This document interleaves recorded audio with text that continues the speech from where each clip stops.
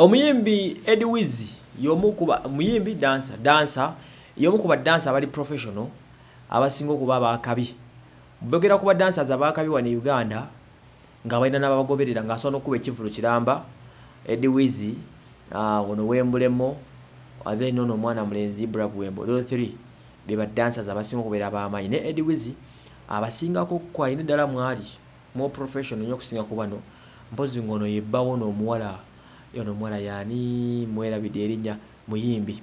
Edwiz yebbawo ebabeera nnyo bonna.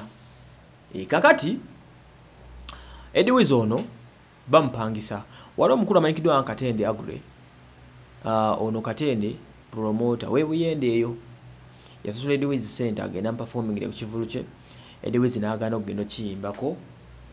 Bw'agaana okugenda okiyimbako katende natandika okuba nga abanja sente okuva ewa edwiz akigambibwa edwiz yasalawo n'awamba katende. N'amukidnappinga n'amukuba n'emiggo n'empi n'amugamba lekerawo okubanja sente Uh, watu katene nasalo nagenda ku police nalopa edwiz omusango mulamba era police nekwata edwiz nemutwala nemuggalira ku nsonga za allegations allegedly eh, alleging he was alleged of kidnapping. Omanyi ono uganda bakutebereza until you're proven ono ne bamwaleginga era uh, nabanga bwatyo polisi yamukutte ate abitebye buzibu ki akaviwa gye kava lwaki yatuuka mu mbeera eyokubanga awamba promota ngaolikuba mubanja akasente. Bwatyo ze ensonga z'omukulu edwizi katumusabire edwizi ate bamute.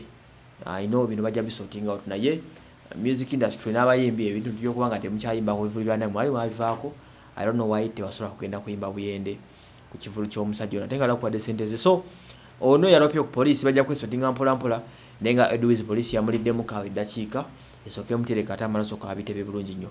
Nze wase manuel mwebalinnya okuba nga mutugoberera